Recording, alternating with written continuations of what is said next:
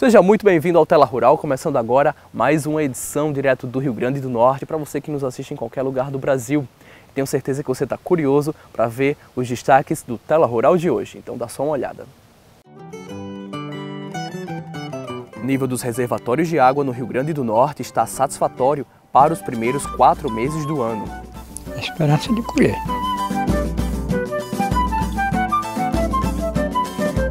Quadro Cura Verde, uma planta indicada para problemas gástricos, proteger o fígado, queda de cabelo e até mesmo para afastar traças. É o alecrim. Ele é um poderoso produto para melhorar a circulação da pele.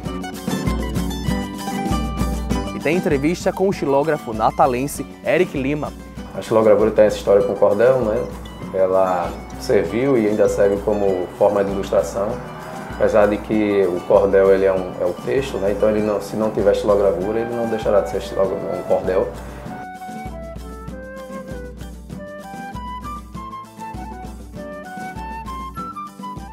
Fica com a gente que o Tela Rural acabou de começar.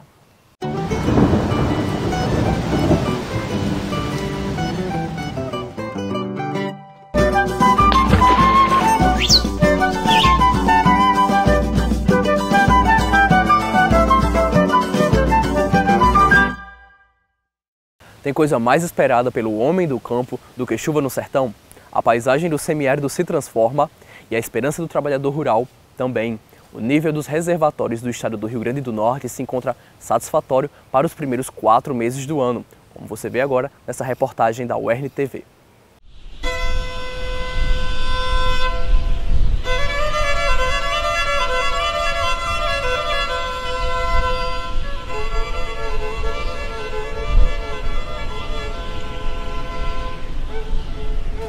Abaixe a mão, Mãe de Deus. A súplica dos sertanejos é para que as chuvas caiam. E elas vieram.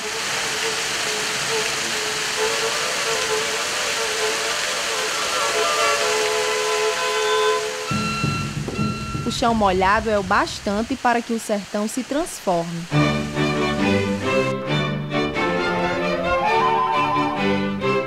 Campo agora tem a cor da esperança. Os pés do agricultor têm a companhia das relvas. Elas enfeitam as beiradas do caminho.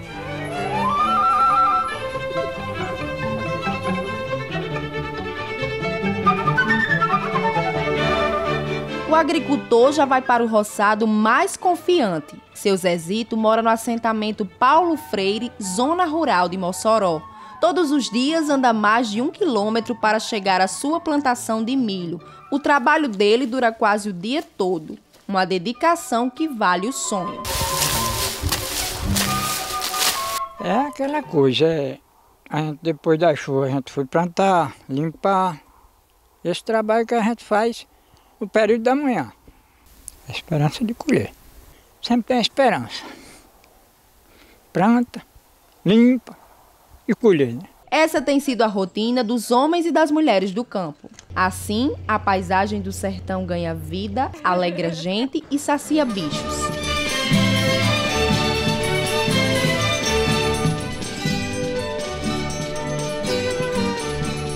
Não é só a beleza da relva pelos caminhos, não é só a promessa de fartura pelos roçados.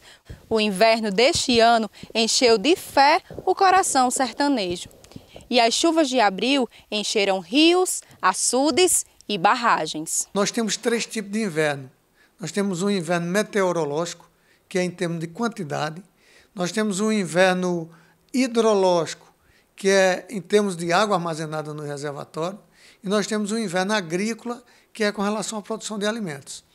Então, eu diria assim que o inverno hidrológico de 2018 ele está além da expectativa. A barragem Armando Ribeiro Gonçalves, no Rio Açu, e a de Santa Cruz, no Rio Apudi, são as duas maiores do estado e estão com 30% da capacidade. E a barragem de Pau dos Ferros, que estava no volume morto, atingiu o nível de 11%. Em janeiro, nós dizíamos que se o reservatório Armando Ribeiro Gonçalves, o Mari e Santa Cruz chegassem no final do período chuvoso, em maio, com 30% da sua capacidade, já seria uma vitória. E graças a Deus, hoje esses três reservatórios já estão, o Mari com 46% e Santa Cruz e, e, e Armando Ribeiro Gonçalves com aproximadamente 30. Isso significa que com as chuvas, parte dos pequenos reservatórios está sangrando.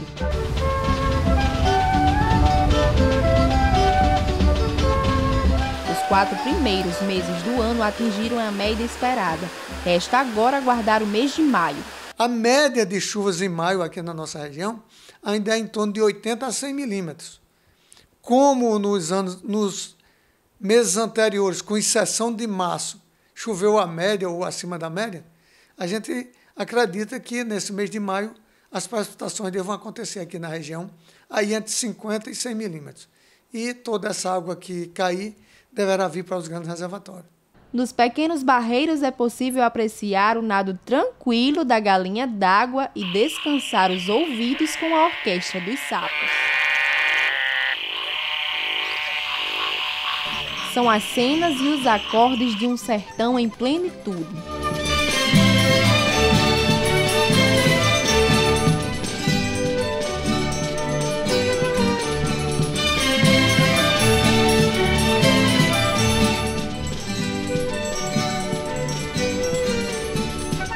Nada é mais prazeroso para o homem do campo que o barulho das chuvas, porque a felicidade do sertanejo está impregnada na canção dessas águas.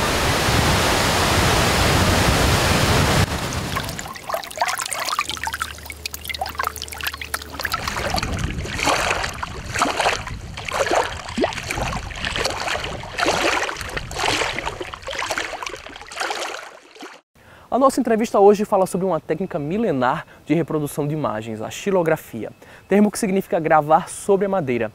Método artesanal de impressão, a xilografia tem fortes relações com a literatura de cordel e com a cultura nordestina.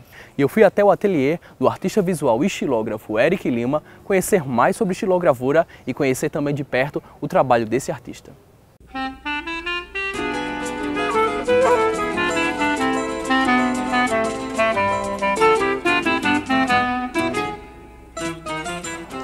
Entrevista hoje do Tela Rural é com Eric Lima, que é xilógrafo, ele trabalha com a arte da xilogravura, a gente vai conhecer um pouquinho mais sobre a técnica, sobre essa manifestação artística que é tão nossa, né, do, daqui do Nordeste. Seja bem-vindo, Eric, ao Tela Rural. Muito obrigado. Vamos começar é, conhecendo melhor a sua história. É, você é artista visual e trabalha já com a xilogravura há mais ou menos quanto tempo? Há 11 anos me dedico a essa técnica. É, e comecei a partir da influência é, da literatura de cordel. Né? Meu pai é poeta de cordel e aqui na cidade ele fundou, junto com outros poetas e poetisas, um espaço chamado Casa do Cordel. E que a partir dessa história que né, a xilogravura tem com o cordel em algum momento, é, eu já gostava de fazer alguns desenhos, de pintar, mas não conhecia a xilogravura.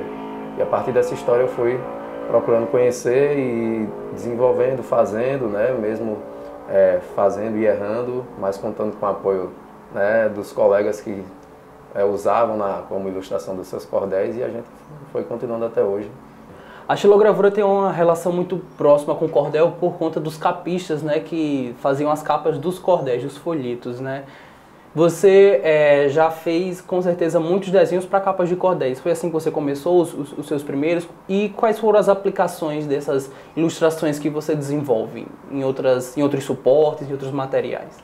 Sim, sim, com certeza. É, é, a xilogravura tem essa história com o cordel, né? Ela serviu e ainda serve como forma de ilustração. Apesar de que o cordel ele é, um, é o texto, né? então ele não, se não tiver xilogravura, ele não deixará de ser um cordel. Assim como a estilogravura também tem uma, uma técnica de arte visual que tem vida independente. São independentes, né? Mas Isso. ao mesmo tempo se completam. Isso, mas com certeza aqui no Brasil, com, com o cordel, ela ganhou é, uma, uma identidade nossa aqui, né? dos capistas de cordel, das pessoas que editavam cordel e para facilitar o processo gráfico de impressão, utilizaram, passaram a utilizar também a estilogravura.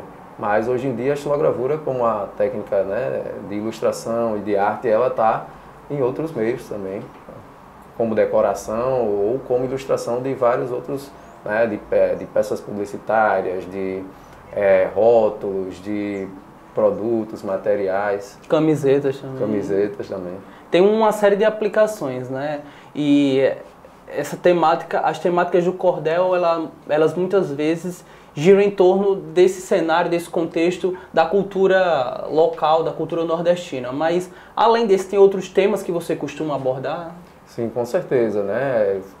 É, é, sem dúvida, o, o, o tema né, do, da cultura do Nordeste, da nossa identidade cultural, ele é bastante presente na, no cordel e também nessa estilogravura que está ligada ao cordel. Mas tanto o cordel, mas também a estilogravura, ela né, retrata outros, outros temas. Hoje em dia, inclusive, é, é, falando um pouco do cordel, o cordel é, retrata e trabalha temas mais diversos possíveis, né? E na estilogravura, sim, também eu, eu sempre faço as estilogravuras é, com essa, essa inspiração de, de vários temas, né?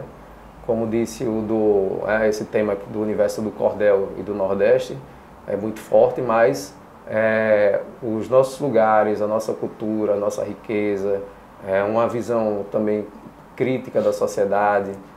É possível, inclusive, como essa peça que você está trabalhando nessa aqui, né, né Eric? É, essa peça aqui, ela traz um, uma temática que envolve questões sociais, que, que estão bastante em pauta no momento atual, e é uma forma também de, de utilizar a, a arte a serviço né, de, um, de um engajamento social, político. Com certeza, né? A arte ela não está separada da vida né, das pessoas e a, a arte ela acaba refletindo o seu tempo, né? E as ideias de quem a faz. E a minha visão sobre a sociedade é uma visão crítica, né? E com certeza é, é, isso está presente na minha arte. Essa gravura é para um, um folheto de cordel que trata sobre a questão da diversidade, da homofobia, né, das discriminações que infelizmente hoje no nosso mundo ainda são muito presentes e a gente precisa combatê-las de, né, de diversas maneiras. E a arte também pode ser uma maneira para se fazer isso. Quem te influenciou, além do seu pai, o Abaeté, quem também te influenciou a, a seguir esse caminho da estilogravura? Ah, com certeza os, né, os estilógrafos populares, que são chamados assim populares, do cordel, né, que são, são ídolos nossos e que são expoentes, como o J. Borges, o Dila, né, o José Costa Leite, é, Marcelo Soares, Círio Fernandes, entre tantos outros xilógrafos populares, são, chamados de populares, mas são né, é, é, é, grandes artistas, mas também né, os, os poetas, logicamente que né, o meu pai, com o trabalho do Cordel e da Casa do Cordel, os amigos poetas as, as poetisas que fazem parte do espaço Casa do Cordel, é, mas também outros incentivadores, como por exemplo professores, o professor Pedro Roberto, que é professor aposentado do Departamento de Arte da Universidade aqui do, do, Rio Grande do Norte, que é um grande incentivador do trabalho, né, quem, a quem eu sempre agradeço o apoio.